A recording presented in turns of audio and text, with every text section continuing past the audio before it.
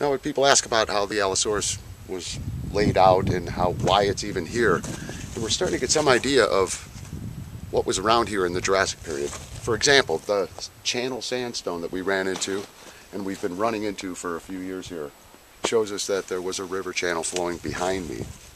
But what's neat is down in here, all the Allosaurus bones were sitting amongst a plant called horsetail.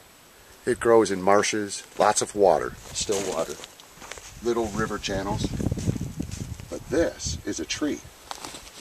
And if you look right here, it runs up, caught the dinosaur on this side.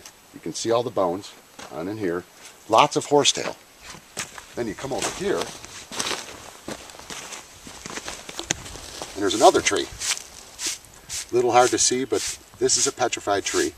Not a very big one, but there's two of them that surround the dinosaur. It might be something to do with why it was caught here and the water didn't wash it away.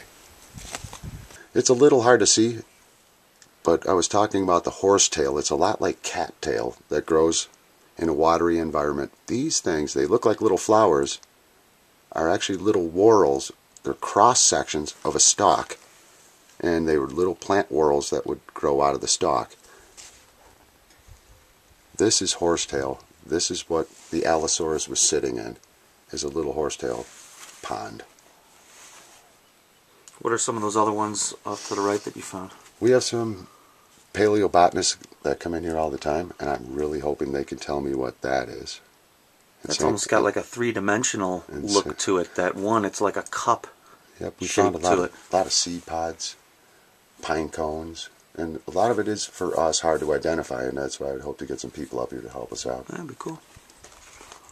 Pretty long. See what I mean? We're working our way through the forested area of the dig site to the left, on the opposite side of where one of the trees fallen. We're finding all sorts of impressions, indentations of different plant life.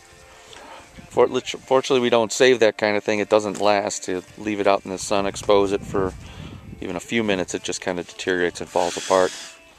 But it's cool to see while you're digging it out. You don't always see plant patterns.